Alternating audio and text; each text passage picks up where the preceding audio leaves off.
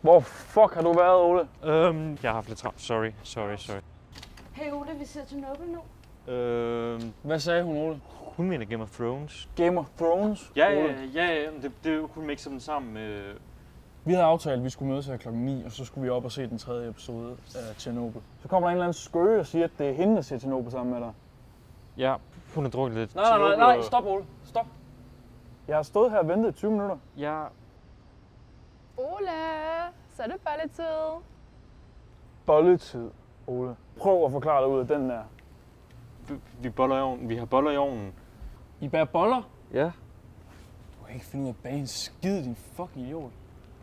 Hvor dum tror du, er, Ole? Undskyld, men altså det var Det er altid s- løgn og bedrag med dig. altid svært med dig. Du er altid så punktlig, og jeg Ole, ved godt, jeg ikke kan Ole, det der. stop. Du er sådan fucking kejle, du er. Og en løgner og en bedrager. Fuck dig, Ole. Ses i et andet liv.